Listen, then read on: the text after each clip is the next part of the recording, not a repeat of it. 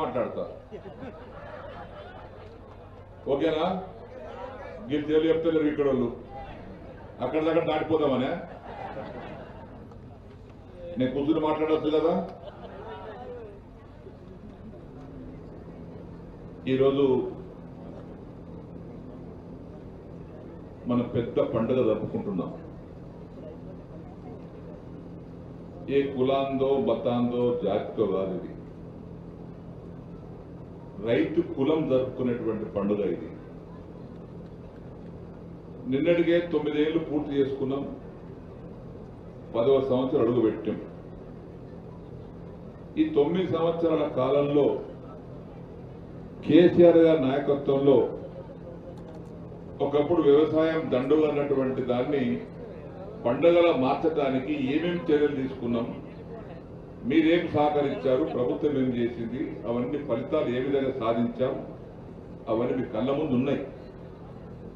అటువంటి యొక్క కార్యక్రమాల పండుగనే ఈ శతాబ్ది దశాబ్ది ఉత్సవాల సందర్భంలో మనం జరుపుకున్నటువంటి మొదటి రోజు ఇప్పుడు నిన్ననేమో సీఎం గారు సచివాలయం జెండా ఎగరేశారు నేను కామరాలు ఎగరేశారు కానీ ఈ దశాబ్ది ఉత్సవాలలో మొదటి రోజు జరుపుకునే పండుగ రైతు దినోత్సవం.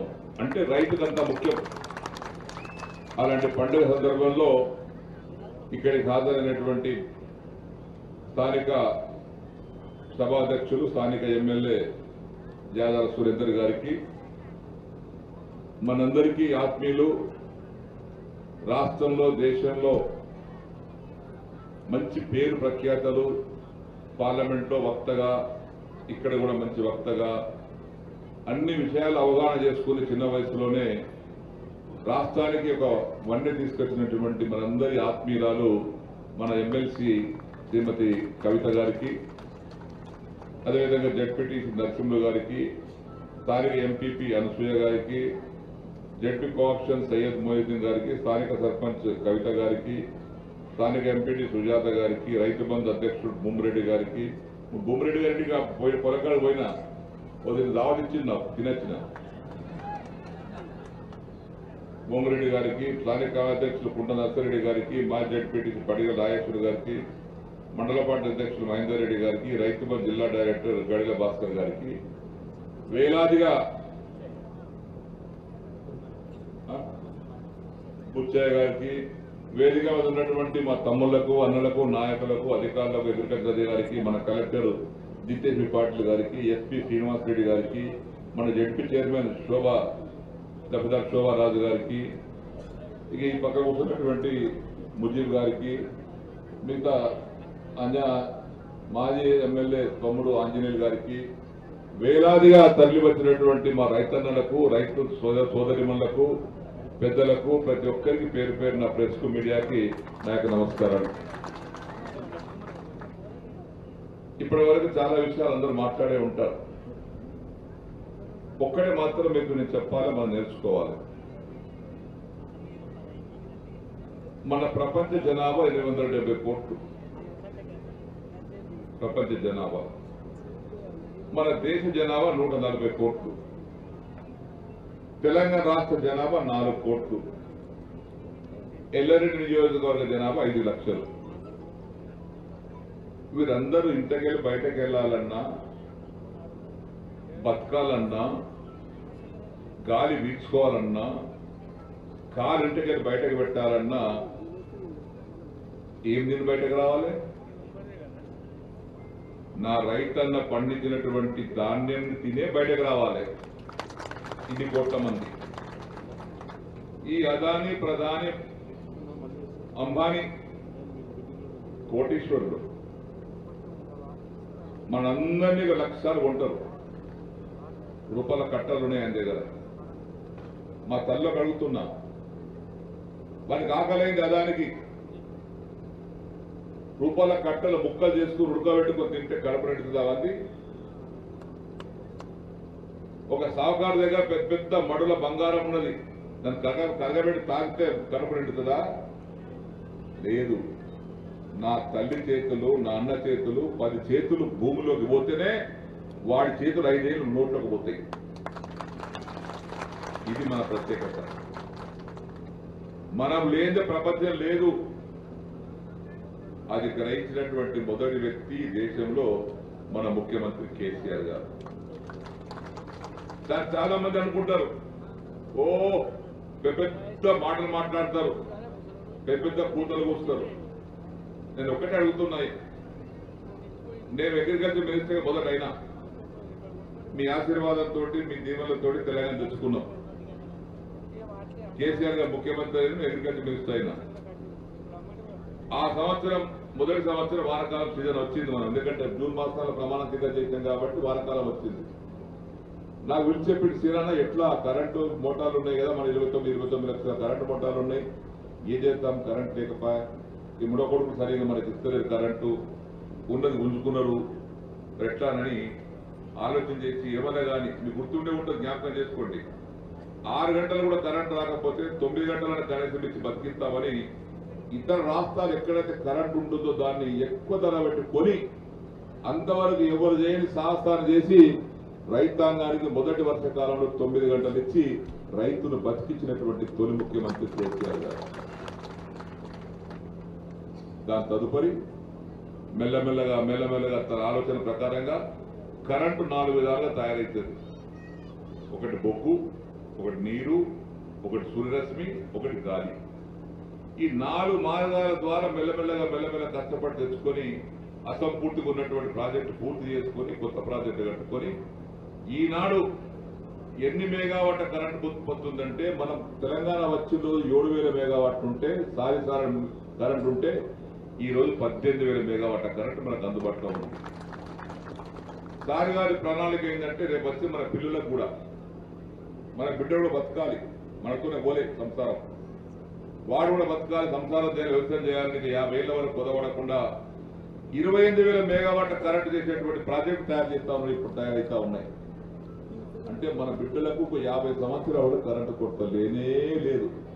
అందుకే దేశంలోనే చౌబీస్ గంట కరెంట్ ఇచ్చేటువంటి ఒకే ఒక ముఖ్యమంత్రి కల్వకుంట్ల చంద్రశేఖరరావు గారు. రమ్మనండి ఎవరు చెప్తారు సమాధానం. ఏ పార్టీ వారు చెప్తాడో?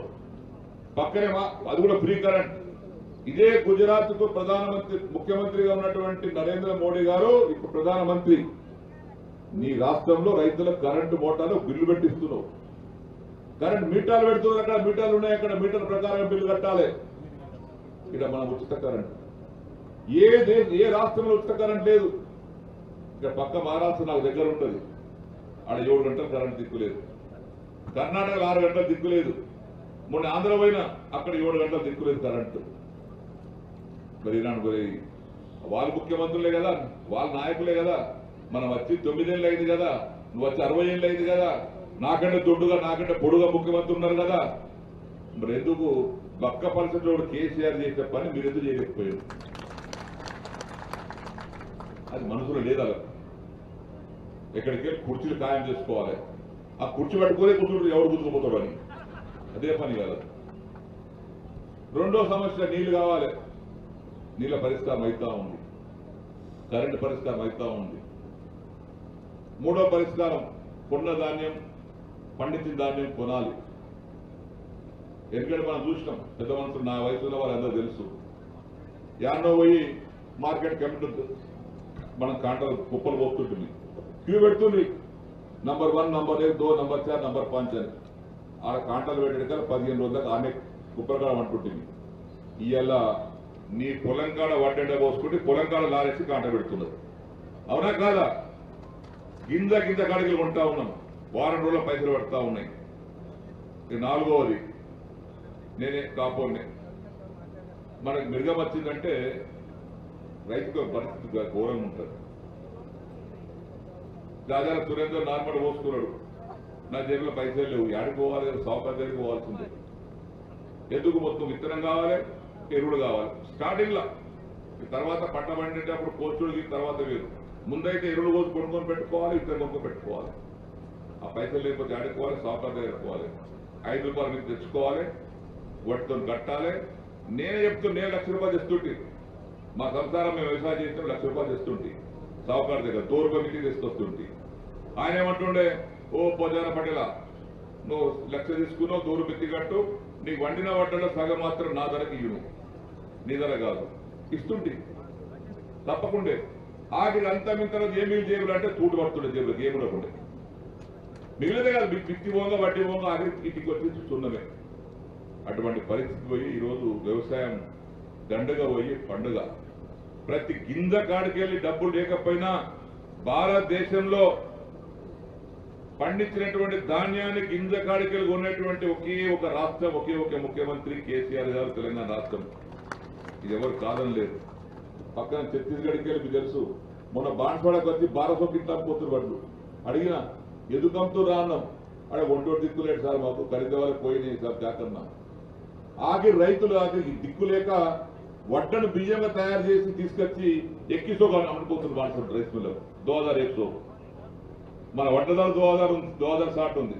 వాడు బియ్యం అమ్మిపోతుంది ఎందుకు అమ్ముతున్నా అంటే కొంటోటి దిక్కులేడని ఇటువంటి పరిస్థితి గత రోజు చూశాము. ఇప్పుడు రాష్ట్ర పక్క రాష్ట్రాలు చూస్తున్నాం. మన రాష్ట్రంలో హాయిగా రైతులు. రైతే రాదు. అని మాటతో చెప్పిర్రు. ఈ రైతే రాజని నిజం నిజంగా నిరూపించినటువంటి వ్యక్తి మన ముఖ్యమంత్రి కేసీఆర్ గారు. ఇంకా రాబోయే రోజుల్లో ఇంకా మంచి పండుగ జరుపుకుందాం. అప్పుడు నుంచి బయట పడుతున్నాం మెల్లమెల్లగా. అందుకే మనం పంటలు కూడా ముందు వేసుకోవాలి. బోర్ వేసి బోర్ బోర్ ఉన్న వాళ్ళు కానీ నీళ్ళు ఉన్నవారు కానీ నార్మల్ ముందు వేసుకోవాలి. ఇప్పుడు మీ యొక్క మీ యొక్క ఎల్లనెట్లోనే ఇంట్లో తినడానికి ఓంగా ఓను బయట ప్రైవేట్ అమ్ముకునే ఓను ఎల్లరెడ్డి నియోజకవర్గంలో గత తెలంగాణ వచ్చి నుంచి ఇప్పటిదాకా అమ్మిన వడ్డే తెలుసా? ఇరవై లక్షల పదకొండు వేల టన్లు ఒక్క ఒక్క ఎల్లరెడ్డి కాన్సెన్సీ ఇరవై లక్షల పదకొండు వేల టన్లు దాని విలువ మూడు వేల ఐదు వందల డెబ్బై ఐదు కోట్లు ఎల్లరెడ్డి నియోజకవర్గంలో.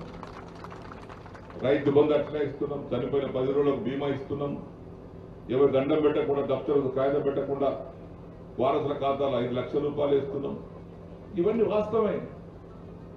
మనం అబద్ధాలు చెప్తలేము కాలి కాకమ్మ కబుర్లు చెప్తలేము ఇవన్నీ మన ముఖ్యమంత్రి గారు చేస్తున్నటువంటి కార్యక్రమాలన్నీ మనం ఈరోజు ముందర మనం మాట్లాడుకుంటా ఉన్నాం.